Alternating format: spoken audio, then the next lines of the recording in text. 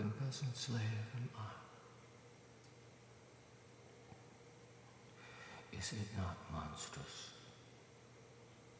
that this player here, but in a fiction, in a dream of passion, could force his whole so to his own conceit, that from his working, all his visage wane, tears in his eyes, distraction in his aspect, a broken voice, and his whole function suiting with forms to his conceit, and all for nothing,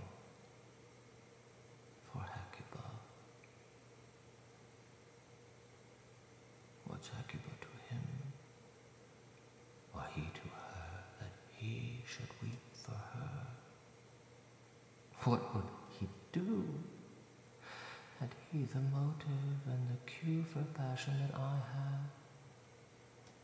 He would drown the state with tears, and cleave the general ear with horrid speech, make mad the guilty, and appall the free, confound the ignorant, and amaze indeed the very faculties of eyes and ears.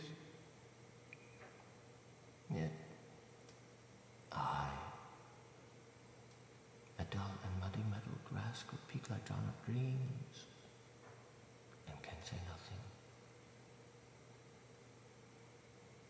No. Not for a king, upon whose dear life and property a damned defeat was made. Am I a coward who calls me villain, breaks my pat patercross, plucks, plucks off my beard and blows it in my face, tweaks me by the nose, and gives me the lie of the throat? Who does me this?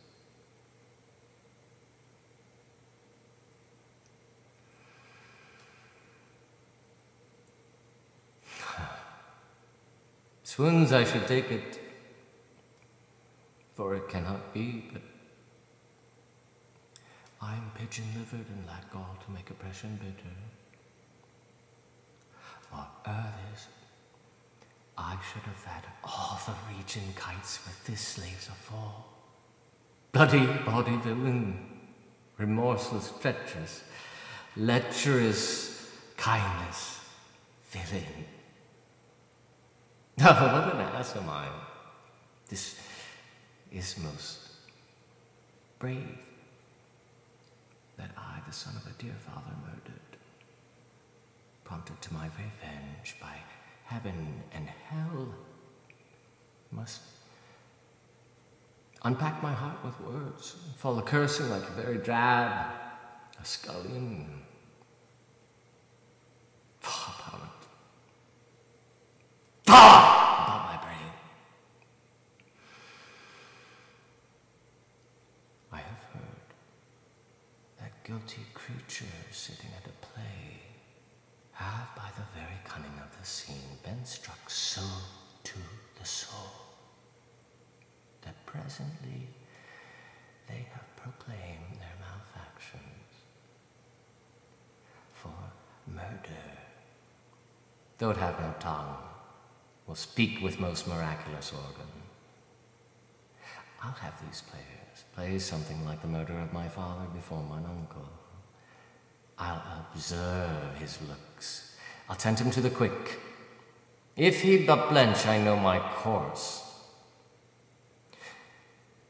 The spirit that I have seen may be the devil, and the devil hath power to assume a pleasing shape. Yea, of my weakness and my melancholy, as he is very potent to do with such spirits, abuses me to damn me. I'll have grounds more relative than this. The place, the thing, wherein I'll catch the conscience of the king